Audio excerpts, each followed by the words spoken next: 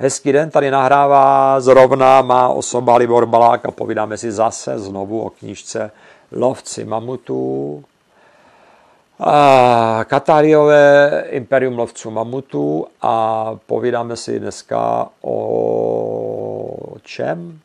My si povídáme dneska o, o tom, jak tuhle knížku si četl pan režisér Vlasta Šimunek. Já jsem se s ním telefonoval, co v téhle knižce vlastně všechno je, co se tam odehrává, co to pro mě znamená plus a minus, jeho pozitiva a negativa.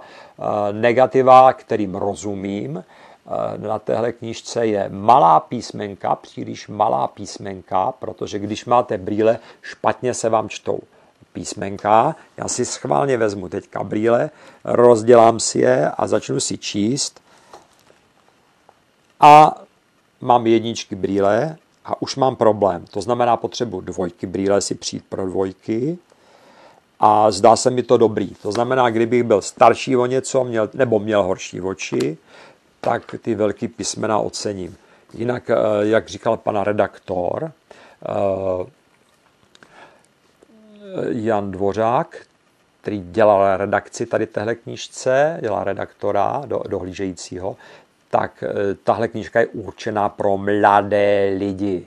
Takže jinak, kdyby ta knížka jsme zvětšili písmo, tak ho máte na dva, na tři díly a to byste se nedoplatili, jo. Tak tohle je ještě za nějakých momentálně 400 korun, bajvoko, docela eh, solidní cena a pokud jste mladší a máte ty, aspoň ty dvojky, ty brýle, jo, tak jo, dá se to číst. Jako, jo. Velice, velice slušně se to dá číst s těma dvojkama v mém případě. A ta velikost mě vyhovuje. Mm, Vlasta je o pár roků starší, může s tím mít skutečně, skutečně problémy. Takže tam vždycky na zvážení toho e, vydavatele. Albatros je nakladatelství pro mládež, pro mladé lidi, takže tam předpokládám, že Eh, tahle velikost písma tam zůstane. Eh, nakonec, jak jsem říkal, eh, pan redaktor, redaktor pan režisér Vlasta Šimunek, Vlastimil Šimunek značením knížku přečetl, zhltal denně 10-20 listů a zvládl to jo, nějak. Takže dá se.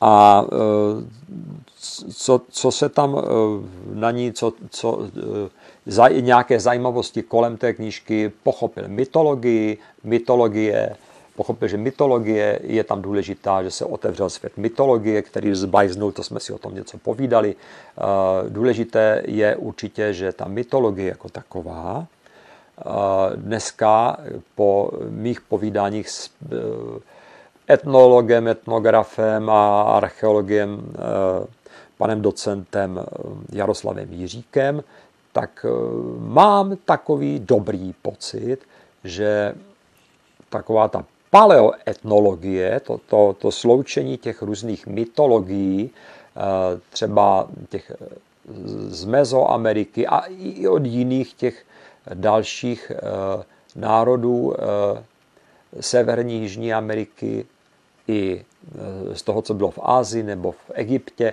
když si to tak jako nějak tak podívám, co se tam v té mytologii odehrává, tak to jsou věci, co, co jsou. Eh, o nebi, o měsíci, o slunci, čili o věcech, co jsou fixní, co se nemění, co dlouhodobě se nemění, co vypadají eh, jako eh, absolutně, absolutní jistoty. To, co je tady na Zemi, tak zjistíte když mluvím k vám jako mladým lidem, takže se tady vlastně všechno strašně mění. Kontinenty, klima, vegetace, lidi, strašně moc věcí se mění. To, co zůstává opravdu dlouhodobě docela neměné, jsou ty hvězdy nahoře a děje, které se odehrávají eh, nad našimi hlavami. Takže je docela potom logické, že ti lidé, když chtějí někde hledat něco, eh, co propojuje je eh, mezigeneračně, to, co je propojuje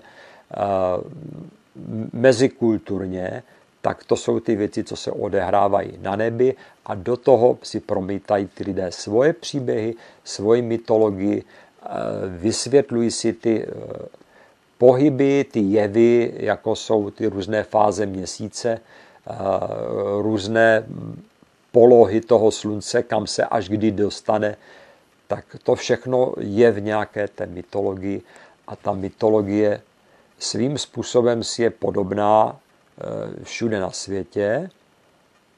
A je v ten okamžik docela eh, dovoditelné, že i ti lovci mamutů měli právě mytologii, která by zapadala s určitým způsobem právě do té obecné mytologie, která míří tam nahoru nad naše hlavy, někde ku hvězdám, čili eh, pokud by se dělala znovu nějaká taková knížka, pokud bychom chtěli vnímat eh, tuhle mytologii nějak novým způsobem, tak je možný, že i, i otevřít se tímhle způsobem eh, do budoucna není špatné. Čili bych stáčel takovýhle film, dělal počítačovou hru o lovcích mamutů, novou knihu, novou povídku, tak ta mytologie by už potom měla poměrně eh, konkretizující charakter, aby zapadala do té eh, určité škály těch mytologií, které eh, popisují ty věci, co se odehrávají nám nad hlavama. Jo, takže ten etnolog, etnograf, docent Jiřík jako spolupracovník je hodně e, důležitý pro mě, jo, pro to pochopení před 18 rokama ten jeho význam nebyl tak ještě obrovský, to ještě možná študoval, ale v současnosti uh, jsem rád, že jsem obklopen chytrýma lidima. Jo, takže to je, to je uh, jedna taková věc.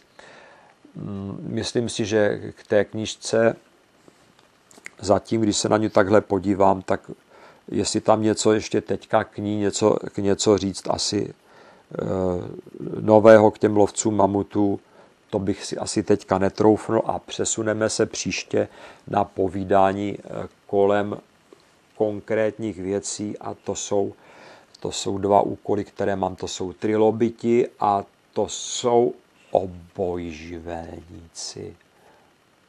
Jo, mějte se krásně a těšte se na ty oboživelníky, protože jedna taková tajemná, záhadná bytost tam někde v minulosti se pohybovala a zatím nám její kostra uniká, uniká nám i její lepka, ale nechala za sebou nějaké stopy, konkrétní stopy, a jak za sebou nechá někdo konkrétní stopy z otisky prstů, tak se dá identifikovat, tak se dá zařadit, tak se dá vlastně nějakým způsobem zachytit a já nakonec si můžu do své sbírky nakonec vytvořit lepku oboživelníka, který byl nalezen a zároveň nebyl nalezen. A jak to bylo, se dozvíte příště. Krásný den, tady byli Borbalák.